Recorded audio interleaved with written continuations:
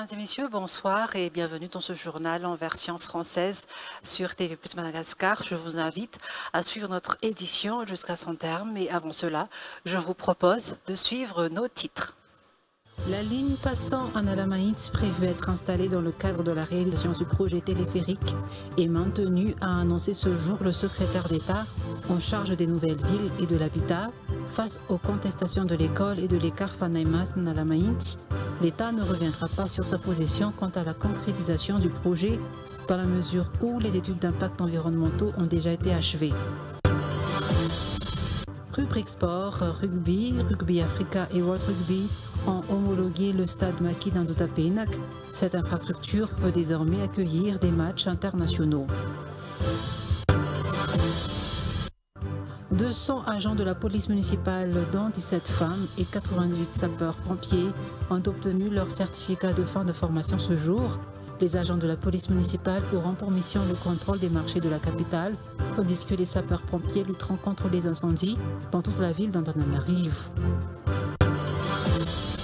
L'armée israélienne a annoncé mercredi mener une action offensive sur le sud du Liban, où elle affirme que son aviation et son artillerie ont frappé 40 cibles du Hezbollah libanais et tué la moitié de ses commandants dans ce secteur.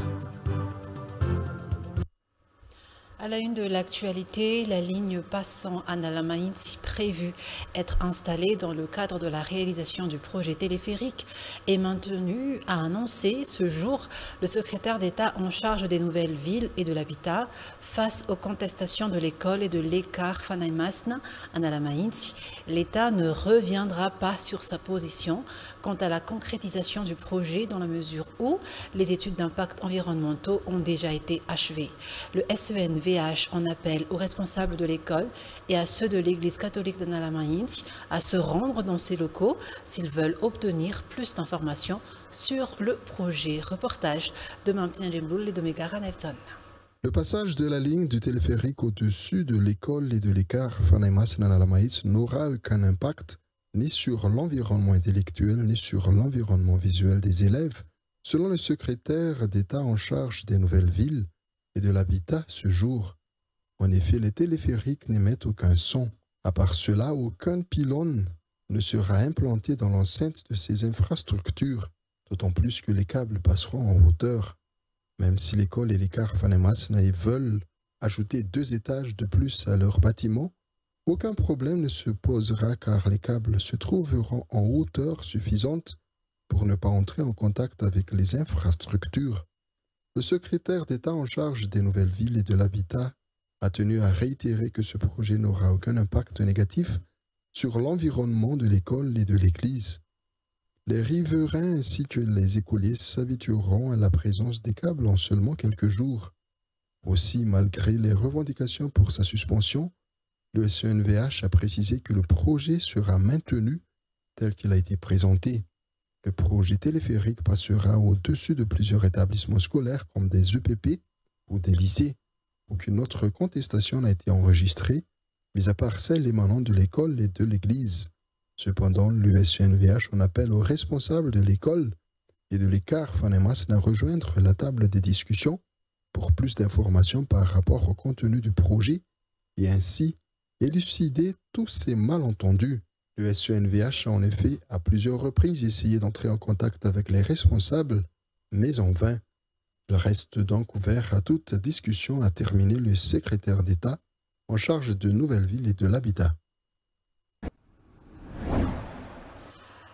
Rubrique euh, sport, rugby. Rugby Africa Award Rugby entomologué. Le stade Maki d'Andoutapenak. Cette infrastructure peut désormais accueillir des matchs internationaux.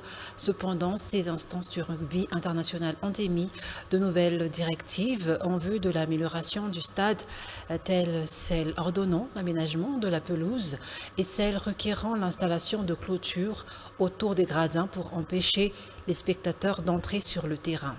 La Fédération malagasy de rugby, de son côté, est déjà en train de travailler sur ces améliorations. Le Stade Maki pourra donc accueillir la Coupe d'Afrique des Nations qui s'y déroulera du 4 au 12 mai. Les Ladies Maki de Madagascar de rugby à 15, de leur côté, sont fin prêtes à participer à cette compétition d'envergure internationale. Madagascar figure parmi les pays les plus vulnérables aux effets du changement climatique. À cause de ces difficultés financières qu'elle rencontre au quotidien, la population malagasse ne peut pas faire face efficacement aux effets du changement climatique. La lutte contre la pauvreté doit être priorisée si l'on veut faire face de manière efficace aux effets du changement climatique pour lutter contre les effets du changement climatique et pour venir en aide aux populations vulnérables, le GCP a octroyé un financement à Madagascar. Elisa Herman. La lutte contre le changement climatique dépend de la gestion de la lutte contre la pauvreté. Si le peuple est vulnérable, ils ont tendance à s'en prendre à la déforestation. La subvention du GPC est essentielle quant à la vulnérabilité de Madagascar au changement climatique Madagascar est en tête des pays les plus vulnérables au changement climatique en Afrique et au cinquième rang mondial. Cependant, la Grande Île ne dispose aujourd'hui que d'un nombre restreint de subventions de préparation et d'activités financées par le GCF. Mettre en place des programmes conformes aux exigences requises. Ce dernier soutient le gouvernement de Madagascar à travers le ministère de l'Environnement et du Développement durable à formuler des propositions de projets de préparation qui répondent aux critères techniques exigés et qui sont en accord avec les contributions déterminées au niveau national, les plans nationaux d'adaptation et d'autres stratégies nationales liées au changement climatique. Autre forme d'actualité de son agent de la police municipale, dont 17 de sexe féminin et 98 sapeurs-pompiers ont obtenu leur certificat de fin de formation ce jour. Les agents de la police municipale auront pour mission le contrôle des marchés de la capitale, tandis que les sapeurs-pompiers lutteront contre les incendies dans toute la ville d'Antananarivo. Ces agents prendront immédiatement leur service auprès de la commune urbaine d'Antananarivo, selon le président de la délégation spéciale d'Antananarivo, Richard Ramanambitan, qui a remis aux policiers et aux sapeurs-pompiers leur certificat ce jour. Reportage de Zura Barzon. L'effectif de la police municipale s'élève à environ 450 agents actuellement. Ce jour, 200 agents de police municipale ont achevé leur formation. Ils vont participer au contrôle des marchés de la capitale et réguler la circulation dans la ville d'Antananarivo. Sur ces 200 agents nouvellement formés, 17 sont des femmes. Ils ont suivi une formation militaire qui a duré une année en collaboration avec le ministère de la Police nationale et avec le ministère de la Défense nationale. Plusieurs critères ont été imposés lors de la sélection des dossiers de candidature. 98 sapeurs-pompiers ont également fini leur formation auprès de la commune urbaine d'Antananarivo. Ils vont rejoindre les rangs de ceux déjà en service au sein du corps des sapeurs-pompiers. Ces policiers municipaux et sapeurs-pompiers nouvellement formés vont prendre immédiatement leur service auprès de la commune urbaine d'Antananarivo. Ces 298 agents de la commune urbaine d'Antananarivo ont reçu leur certificat de fin de formation des mains du PDS d'Antananarivo en personne.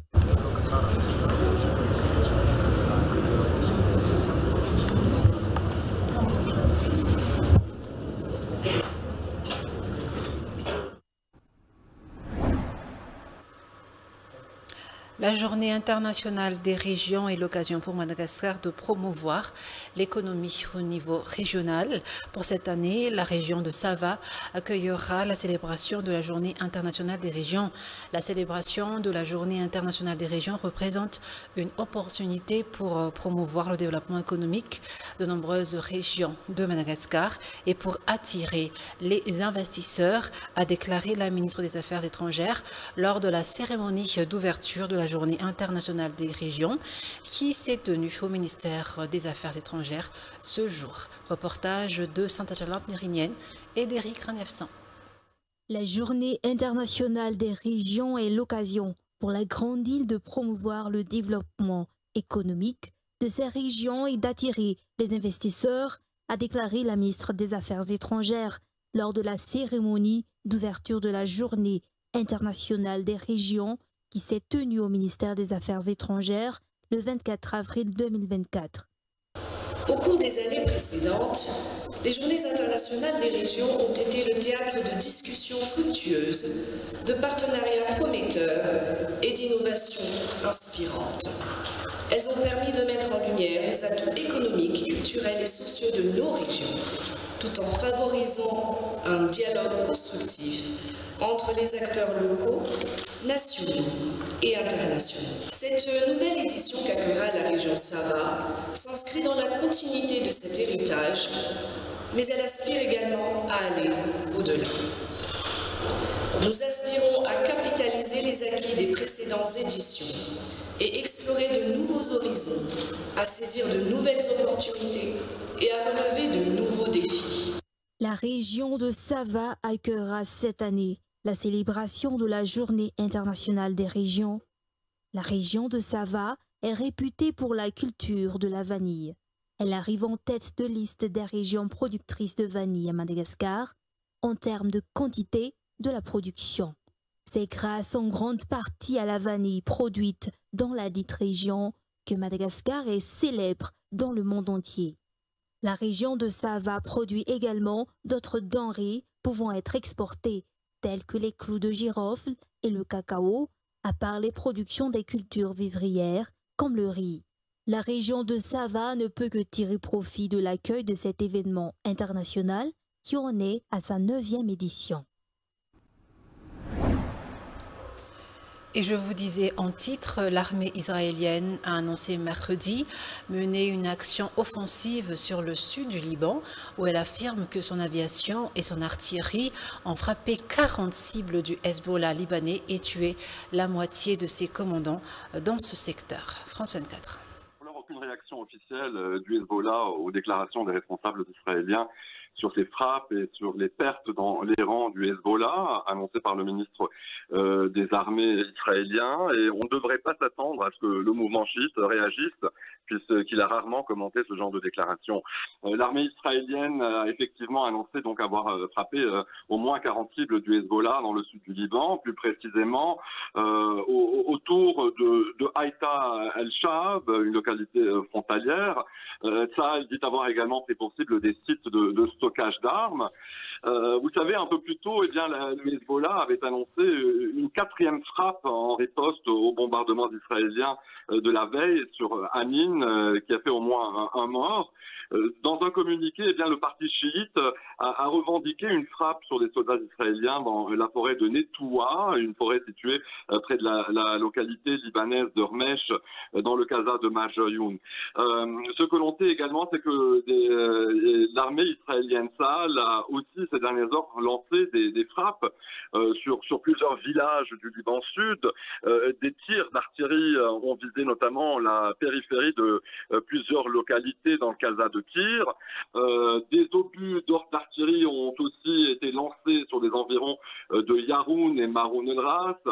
Euh, vous savez, dans ce contexte très tendu, eh bien, les Libanais au Liban attendent le ministre français des Affaires étrangères, Stéphane Séjourné, donc qui est attendu ce week-end à Beyrouth pour des entretiens avec les principaux responsables libanais.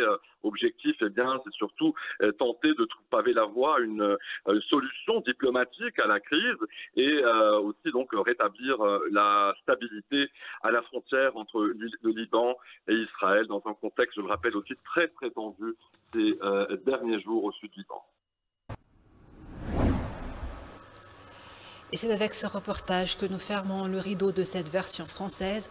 Merci à vous de l'avoir suivi. Très bonne suite de programme sur TV Madagascar. Au revoir.